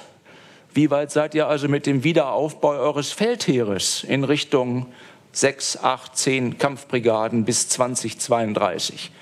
Oder kommt das alles nicht oder viel zu spät oder viel zu unzureichend? Und die letzte Frage würde ich dem General Scheller stellen müssen. So sehr ich das alles schätze, aber Sie wissen, was jetzt kommt. Wie weit sind die Deutschen mit ihrem wiederaufzubauenden Gesamtverteidigungskonzept? Mit den ganzen Vorplanungen, den ganzen zivil-militärisch abzustimmenden Verfahrensübungen, wie wir sie zuletzt 1989 hatten, mit diesen Großübungen Wintex Cimex von NATO Brüssel und EU Brüssel bis runter zum letzten Landrat wenn es um Aufmarsch, Vormarsch und Einplanung geht. Und die Antwort, wenn man sich die, soweit sie öffentlich zugänglich ist, Literatur in europäischer Sicherheit und Technik oder Zeitschrift Die Bundeswehr oder Info-Zeitschrift Unser Heer anguckt, ist gegenwärtig ähm, weit hinter den Erwartungen, die unsere Verbündeten zu Recht an uns haben können, zurückhängend. Und das sind die Fragen, die wir jetzt unter Nutzung dieser, dieser Übung unbedingt angehen müssen offensiv, druckvoll implementieren, damit wir in zwei Jahren zeigen können, als dann NATO-Übung, dass wir unseren, unsere Hausaufgaben erfolgreich dabei sind zu erledigen. Vielen Dank. Gibt es noch eine dritte Frage oder einen dritten Kommentar? Ja, bitte sehr. Mein Name ist Best, Rentner. Ähm, mir kommt, oder ich habe die Gnade der vielleicht späten Geburt. Ähm, mir kommt es so vor, als ob hier in Dimensionen gedacht wird, Panzer, Soldaten, äh, das mir ein bisschen komisch vorkommt. Wir sind im Zeitalter der Computer, der Cybergeschichten und kein Mensch erwähnt hier eigentlich dieses Thema. Heißt das, wir machen hier weiter schön brav in traditionellen Panzerschlachten und hoffen, dass das alles so bleibt und darauf bereiten wir uns vor? Oder, weil es ist nicht in einem Wort erwähnt worden hier, äh, fällt das andere dann aus? Oder wo stehen wir denn da? Äh, vielen Dank. Wir haben drei Fragenkomplexe. Ich wiederhole es vielleicht noch mal kurz, damit die äh, Gäste am Livestream das auch ähm, mitbekommen. war einmal die äh, Frage nach der Verhältnismäßigkeit der Verteidigungsausgaben. Wer möchte? Johannes? Also natürlich haben Sie äh, auf den ersten Blick einen guten Punkt, dass die NATO-Ausgaben gesamt um ein Vielfaches höher sind als die russischen. Und wenn man das in diesem einfachen Zahlenvergleich sehen würde, dann müsste man vielleicht sagen, ja stimmt, äh, ne, wir haben doch genug und so.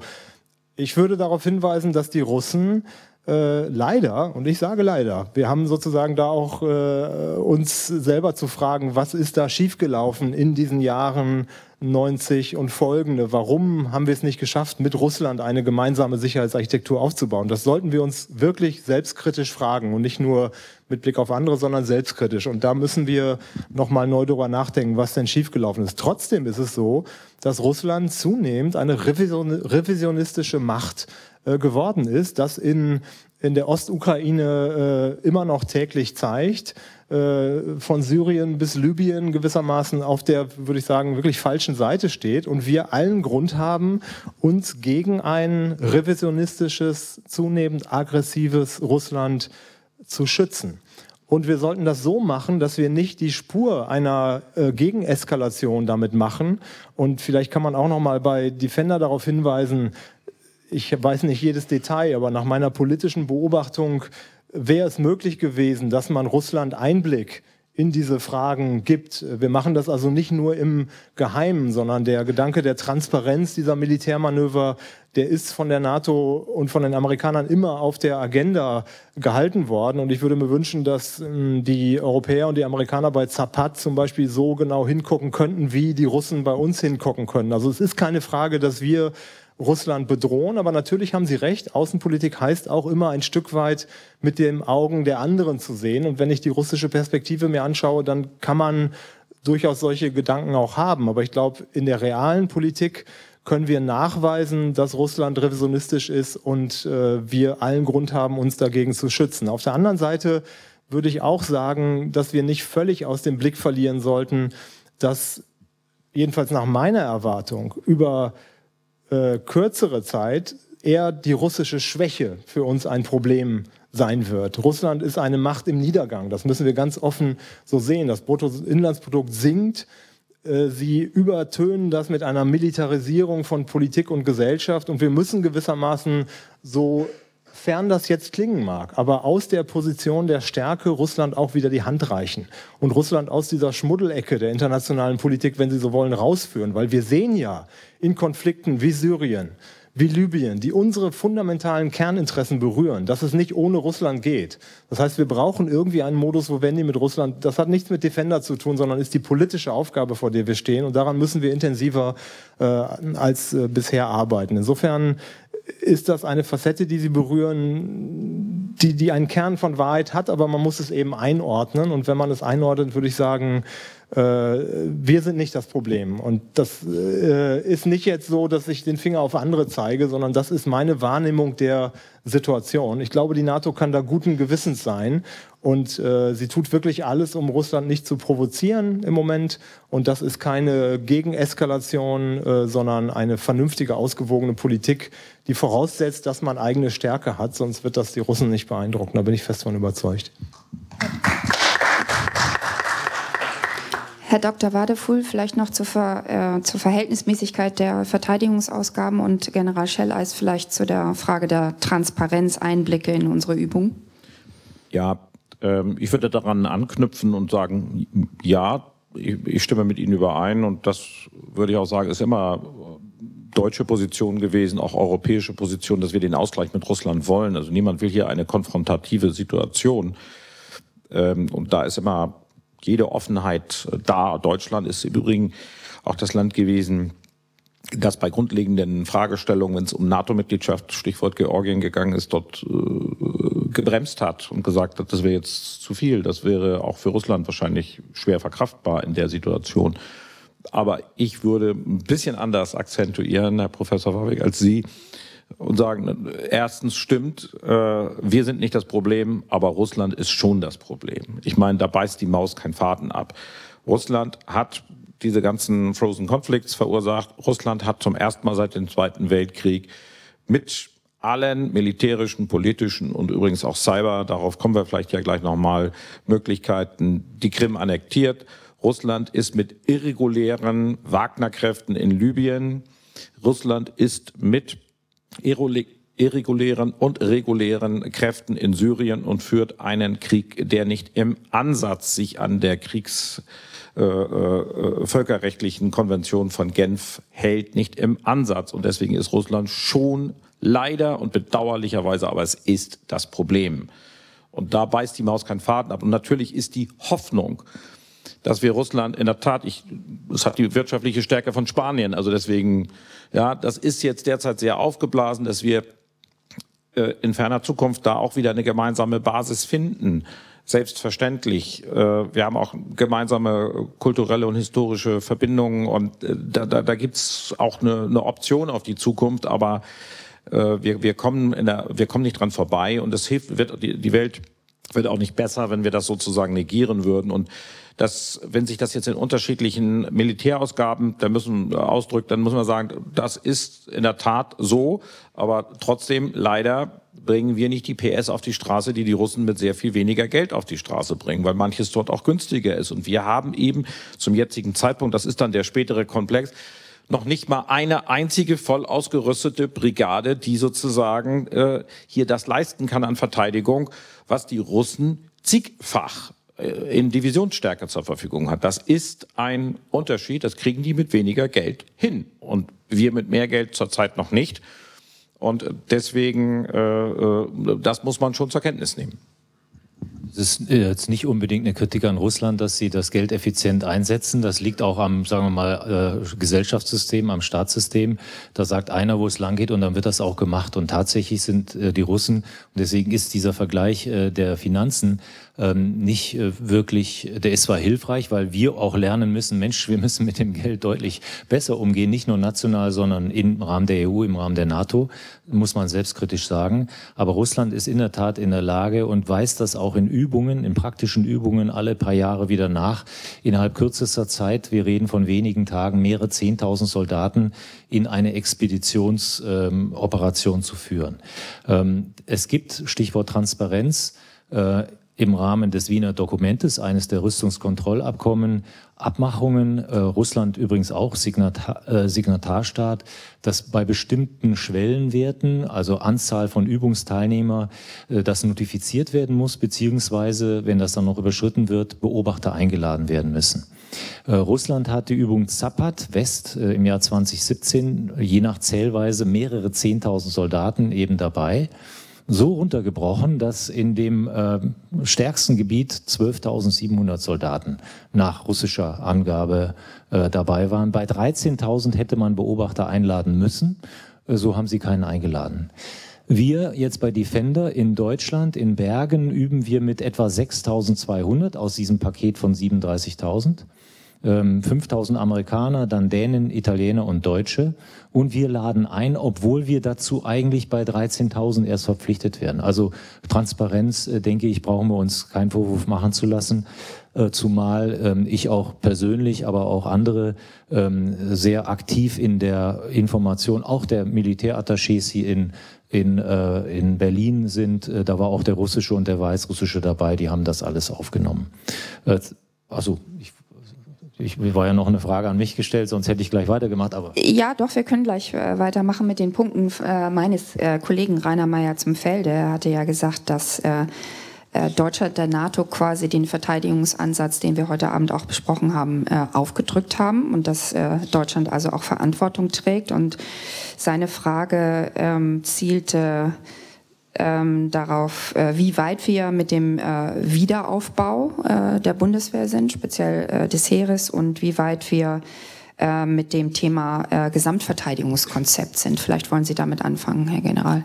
Also Wiederaufbau würde ich nicht nur auf das Heer beziehen. Es gibt sechs militärische Organisationsbereiche, die alle erforderlich sind, um äh, zum, äh, zur Wirkung zu kommen. Hatte angesprochen äh, Weißbuch, Konzeption der Bundeswehr und Fähigkeitsprofil. Demnach ist der Aufbau in verschiedenen Schritten bis 2031 vorgesehen auf dann drei Divisionen, um beim Heer zu bleiben äh, mit äh, acht Brigaden. Äh, entsprechende Unterstützungskräfte, auch von der Streitkräftebasis, entsprechende Luft- und Seestreitkräfte. Das ist äh, der langfristige Aufbau, das dauert einfach seine Zeit aus verschiedensten Gründen. Ähm, die Frage, die speziell an mich gegangen äh, ist, war ja die Frage nach dem Gesamtverteidigungskonzept. Da sind wir in der Tat zu langsam. Das muss ich aber auch deutlich sagen, das liegt nicht in der Verantwortung des, äh, der Bundeswehr oder des Ressorts BMVG, sondern in anderer Hand. Und dort tut man sich offenbar schwer, die seit langem äh, vorliegende Vorlage des Weißbuchs, wo diese Dinge eigentlich alle angelegt sind und jetzt umgesetzt werden müssten. Wir sind jetzt im vierten Jahr, dass dieses Papier vorliegt und da ist noch nicht viel passiert. Das sehe ich genauso kritisch wie Sie. Ähm, da würde ich mir auch mehr Engagement wünschen, aber ich kann das, ich bin da nicht im Fahrersitz oder die Bundeswehr ist nicht im Fahrersitz. Wir sind da abhängig von anderen, die da zuständig sind. Dazu müssen Sie natürlich auch, Herr Dr. Wadefuhl, Sie sitzen ja im Fahrersitz. Schön weg. Schön wär's. Na? Das müssen wir laut hören. Das müssen wir laut hören. Schön wär's. Ja. Also, aber das äh, gemeint war der Bundesinnenminister jetzt und ähm, mit dem ich äh, oder wir sehr gut zusammenarbeiten. Der ist in Quarantäne, ja. Das hat aber andere Gründe. Ähm, nein, also da, aber ich glaube in der Tat, äh, erstens ist es objektiv notwendig, das ist vollkommen klar, und zweitens äh, würde es dazu führen, dass wir in der Tat darüber eine breitere politische Diskussion bekämen, in dem alle staatlichen Institutionen aufgefordert wären, sich eben an diesem Gesamtverteidigungskonzept zu beteiligen. Und das würde schon, könnte schon sozusagen etwas bewirken, auch in der Bewusstseinswirkung äh, äh, innerhalb Deutschlands, was, was sicherlich sehr, sehr sinnvoll wäre. Und aber ansonsten, Herr Mayer zum Felde, ist es schlicht und ergreifend so, dass die Pläne, die wir haben zum Aufwachsen wieder der, der verschiedenen äh, Organisationsbereiche der Bundeswehr derzeit äh, eingehalten werden. Äh, aber in der Tat die, die finanzielle Ausplanung äh, unzureichend ist. Das habe ich vorhin gesagt. Wir sind in aktuellen Verhandlungen mit unserem Koalitionspartner und das kann ich hier auch öffentlich sagen, zum jetzigen Zeitpunkt ist der Bundesfinanzminister nicht bereit, die mittelfristige Finanzplanung auf 1,5 Prozent bis 2024, und das haben wir der NATO gemeldet, und dafür stehen wir ein, äh, so nachzuvollziehen. Das ist im Kabinett zum jetzigen Zeitpunkt nicht möglich, und das ist ein echter, veritabler Streitpunkt mit der Union. Das hat mindestens mal die Bedeutung der Grundrente, würde ich mal etwas äh, mit ein bisschen Understatement sagen wollen, für, für die Bundesrepublik Deutschland, jedenfalls für meine Fraktion. Das ist bekannt. Wir werden sehen, wie die Sache ausgeht. Keiner will wegen sowas die Koalition beenden. Die wird auch nicht beendet, weil die Verteidigungshaushalte immer bisher besser gewesen sind, als das Kabinett das äh, geplant hat. Das heißt, das Parlament macht mehr, als die Regierung vorgeschlagen hat, Jahr für Jahr. Dafür werden wir auch in Zukunft einstehen. Aber es wäre natürlich schon wünschenswert, äh, dass, das hier, dass es hier ein klares Bekenntnis zu diesen entsprechenden Aufwuchsplänen gibt, die notwendig sind. Zu dieser Cyberfrage sagen. Ich glaube, wir, wir das wäre noch gekommen, Johannes. Achso, okay. Nicht, nicht, der, nicht der Moderatorin das Heft aus der Hand nehmen. Niemals, genau. Ich darf einen. Satz zu Cyber sagen, richtig? Bitte, ja. Weil ja die Frage äh, von Ihnen, Herr Pest, wenn ich das richtig in Erinnerung war, ich glaube, wir können nicht uns den Luxus leisten, dass wir sagen, wir machen nur das eine oder das andere. Wir müssen beides machen. Äh, wenn Sie zum Beispiel mal, um jetzt bei Beschaffungsvorhaben äh, zwei Beispiele zu nehmen, diesen Leguan Panzer, der Brücken sozusagen äh, ersetzen kann. Das hat jetzt gut funktioniert, relativ gut funktioniert in der Beschaffung. Da haben wir jetzt irgendwie 20 Stück oder 25 bestellt oder so. Drei sind da oder ne, also läuft, sag ich mal. Aber bei Themen wie elektronische Kampfführung, ich habe mir vor einiger Zeit mal das Bataillon äh, elektronische Kampfführung in Frankenberg angeschaut. Die machen auch einen guten Job, aber da sind die Defizite natürlich riesig. So, das heißt, da ist ein Spektrum und wir müssen in beiden Sachen, glaube ich, äh, gut aufgestellt sein. Die Cyberfrage ist vermutlich einer der wichtigen strategischen Fragen, aber wir dürfen darauf nicht die äh, Oldschool-Security-Sachen gewissermaßen vernachlässigen. Wir müssen in beiden Bereichen äh, besser werden. Und natürlich äh, ist Cyber unter dem Aspekt der Resilienz einer Gesellschaft das zentrale Zukunftsthema. Und unsere Gesellschaft muss in vielen Bereichen in der Sicherheitspolitik resilienter werden. Und das ist hat militärische Aspekte, das hat aber auch viele zivile Aspekte und wir müssen in allen Bereichen nachlegen und das kostet, wie man es dreht und wendet, auch mehr Geld. Und was äh, das Drama dabei ist, dass wir eben das Geld, was wir haben, auch noch schlecht ausgeben. Das heißt, ich würde sagen, wir müssen beides machen. Wir müssen das Geld, was wir haben, viel besser ausgeben und wenn man sich mal Beschaffungsprogramme äh, bei der Bundeswehr etwas detaillierter anschaut, da kriegt man schon die Tränen in die Augen, muss ich Ihnen sagen, auch als Zivilist gewissermaßen. Und vielleicht hat das manchmal dann noch militärische Logiken, wo man was abstreichen muss, aber es läuft nicht so besonders gut, wie wir das Geld ausgeben. Das heißt aber nicht, dass wir das Geld, was wir nicht gut ausgeben, nicht äh, erhöhen müssen. Wir brauchen beides. Also wir brauchen einfach eine, eine andere Priorisierung des Themenfeldes Sicherheitspolitik in allen Bereichen äh, von Sicherheit. Und äh, wir haben nicht den Luxus, um uns auf einen Bereich zu konzentrieren. Vielen Dank. Vielleicht äh, zum Abschluss äh, letzte Frage an, an Sie, Herr General. Ein kleiner Ausblick äh, auf, auf die nächsten Übungen. Hier wurde ja schon angesprochen, dass es bedauerlich ist, dass äh, diese Übung dieses Jahr nicht äh, unter NATO-Führung ähm, gemacht wird. Aber für die kommenden Jahre sieht das ja anders aus. Und vielleicht können Sie das äh, damit verbinden, uns nochmal zu erklären, jetzt jenseits der, der Verfahrens- äh, und, und Ablauf, äh, die hier jetzt geübt werden, was muss aus Ihrer Sicht ganz oben auf der Agenda bei, der, bei den Übungen in den nächsten Jahren stehen? Also die Kritik, ähm, dass die NATO da nicht die Federführung hat für diesen Defender, ist auch in der NATO aufgenommen, diskutiert worden. Im kommenden Jahr oder ab dem kommenden Jahr wird es eine NATO-Übungsserie namens Steadfast Defender geben, wo die Amerikaner dann wie die anderen NATO-Bündnispartner ihren Beitrag mit Truppen liefern. Ähm, Sie hatten es eben schon mal erwähnt, ähm, äh, Professor Fawig, äh, die Zielrichtung der Amerikaner äh, entsprechend ihrem eigenen nationalen Anspruchsniveau zwei Operationen auf dem Globus führen zu können, führt dazu, dass diese Defender jedes Jahr mit zwei Stoßrichtungen durchgeführt wird. Eine nach Europa, so wie in dem Jahr auch im Hauptstoß sozusagen, und eine kleinere in den pazifischen Raum. Und im nächsten Jahr wird das umgedreht. Da wird eine größere Operation im Pazifik laufen und eine kleinere, ein kleinerer amerikanischer Beitrag für die äh, Steadfast Defender Übung in, äh, in Europa. Also es wird zur Regel werden. Ähm, da ist, entwickelt die NATO gerade ihr Programm auch noch und da entwickeln wir natürlich dann auch unsere nationale Übungsbeteiligung daran.